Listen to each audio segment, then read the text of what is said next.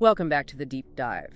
Today, our mission is uh, a deep freeze. We're looking at the late December 2025 event, Winter Storm Ezra, and what came after it. Right, the continental Arctic blast. Exactly. We're going to get right into the atmospheric mechanics behind this, you know, this massive disruption. And we should start at the very beginning with the storm's birth. There's this concept called explosive cyclogenesis. The bomb cyclone. That's the one.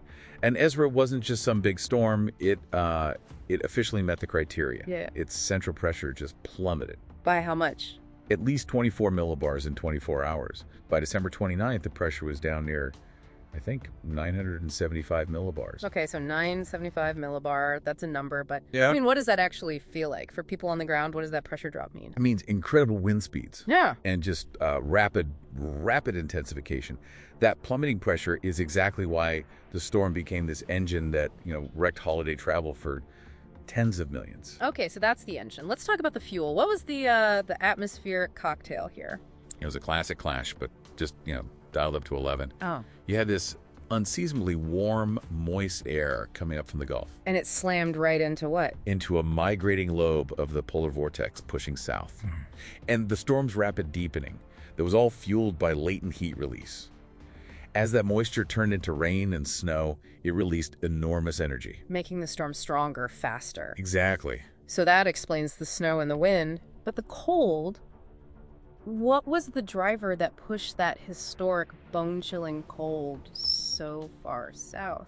For that, we have to look way up, about 20 miles up, actually. The ultimate cause was a big disruption, a split of the polar vortex. And this was after something called a sudden stratospheric warming event, an SSW. Yes.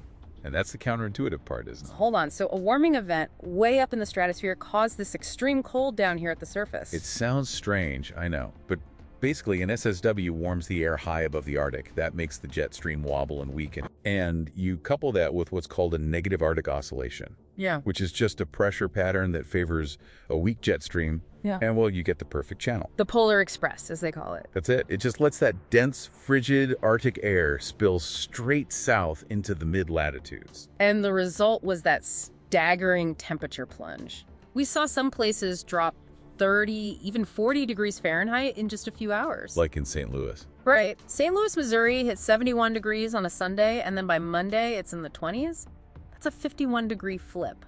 It's wild. And that abrupt change is really the signature here. This was a multi hazard event, it wasn't just one kind of problem. And that's what made it so different. So you had the blizzard zone up in the upper Midwest, Marquette, Michigan, bracing for what? Up to 36 inches of snow. And wind gusts up to 75 miles per hour, complete whiteout conditions. Then you move east and you get the icing zone. Hmm. Central Pennsylvania, interior New England. Yeah.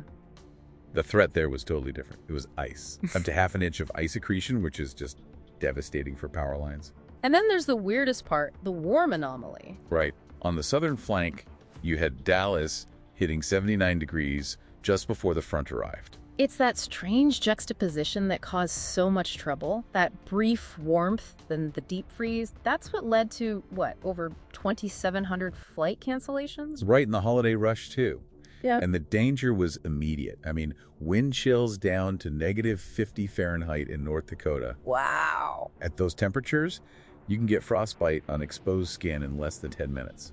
So, where do we go from here? Is this pattern breaking down soon? Not right away, no. Hmm. The models show it's pretty persistent. There's even a secondary surge of Arctic air forecast to come down around the new year. So more cold and maybe more snow for the Great Lakes and Northeast. It's a slight risk, but yes. So, to sum this all up, the December 2025 event was really the stark illustration of atmospheric volatility.